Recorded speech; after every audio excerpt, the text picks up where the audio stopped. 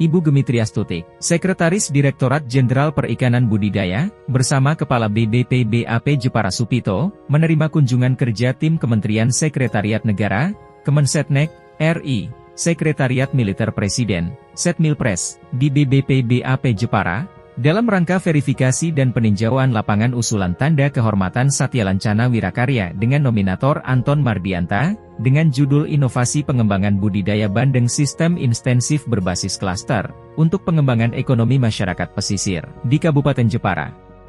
Turut hadir Laksma TNI Bayu Trikuncoro SEMM, CHRM, Biro Gelar, Tanda Jasa, dan Tanda Kehormatan, Sekretariat Militer Presiden, beserta rombongan, Insinyur Umi Windriani, Pengawas Perikanan Utama, Komandan Kodim 0719, Jepara Letkol Infantri Muhammad Husnur Rofik, ASN BBPBAP Jepara, PLN, Penyuluh Perikanan, Dinas Perikanan Jepara, Bapeda Jepara, PT Bumi Jati Power dan Pokdakan penerima manfaat klaster budidaya bandeng di Ujung Watu Jepara.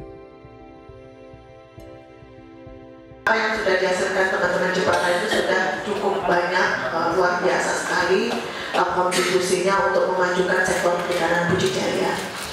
Sangat uh, sangat sangat bermanfaat dan uh, tentunya saya mengapresiasi Pak uh, apa yang dilakukan oleh teman-teman Pak Anton dan uh, tim bagaimana uh, program cluster ini menjadi program unggulan dan harapan kami sebetulnya apa yang uh, diupayakan hari ini uh, verifikasi nanti mungkin uh, dengan langsung uh, paparan dan peninjauan di lapangan ini memberikan memberikan penilaian seperti itu kepada Pak Bayu gambaran bahwa memang selayaknya uh, beliau untuk mendapatkan uh, karya.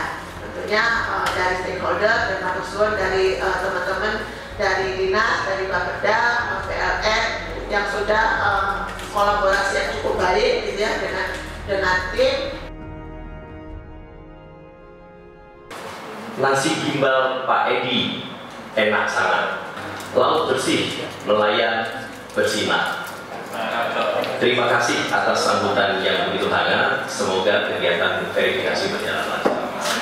Ada quote dari saya. Jadi sebenarnya eh, tingkat jasa seseorang ini tidak bisa dinilai oleh orang itu sendiri. Jadi eh, lebih dinilai oleh orang lain. Jadi kita inilah yang nanti menilai Mas Anton kira-kira bisa nggak nih Mas ya?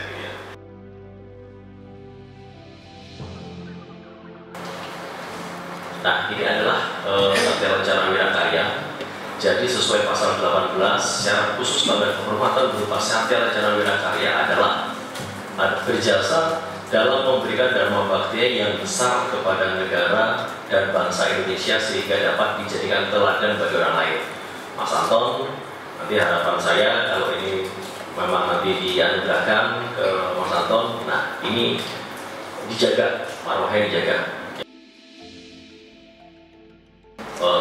Dari lima komponen yang uh, menjadi SOP kami. Yang pertama dari originalitas kemudian kemanfaatan manajemen risiko kolaborasi kemudian kelengkapan data. Terus biasanya dua ton hasilnya setelah dikelola bisa jadi lima ton wah luar biasa.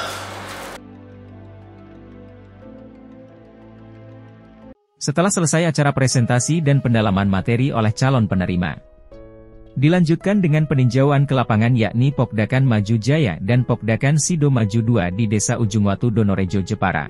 Tim verifikasi pada peninjauan lapangan tersebut bisa langsung berinteraksi dan bertanya berbagai hal terkait dengan dampak dan peran serta klaster budidaya bandeng dalam peningkatan produksi budidaya dan memberikan efek positif bagi peningkatan perekonomian dan kesejahteraan bagi pembudidaya,